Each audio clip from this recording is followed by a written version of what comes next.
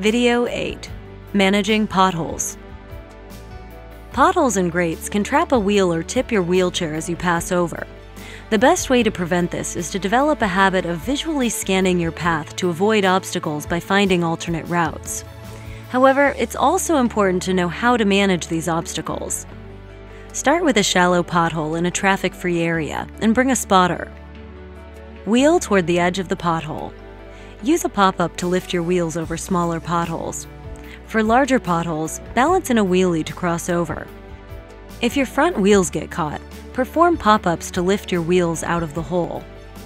If your back wheels drop in, lift your front wheels and lean forward as you push your wheelchair up and out of the hole.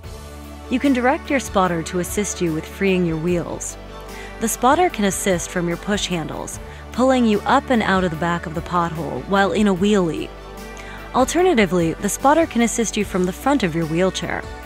Direct the spotter to grab the sturdy front of your wheelchair frame and pull you forward out of the pothole.